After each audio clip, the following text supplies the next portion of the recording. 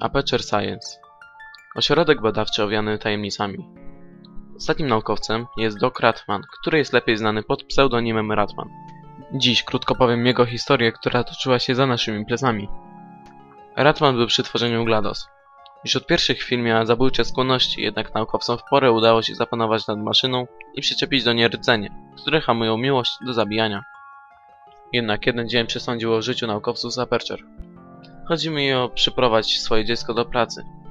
Naukowcom wydawało się, że GLaDOS jest już opanowanym systemem.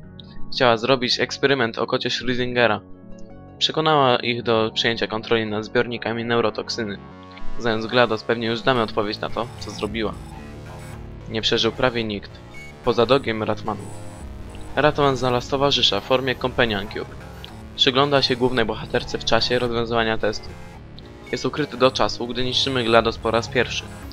Wtedy, gdy leżymy przed wjazdem do Aperture Science, zostaje znów zaciągnięta do środka badawczego, do centrum wydłużonej relaksacji. Po zniszczeniu GLaDOS główne zasilanie padło. Doc wiedział, że Shell znów będzie próbowała uciec i postanowi przekierować całe zasilanie do jej komory, by się obudziła. Biegnąc do panelu sterowania został postrzelony w nogę przez jedną z wieżyczek.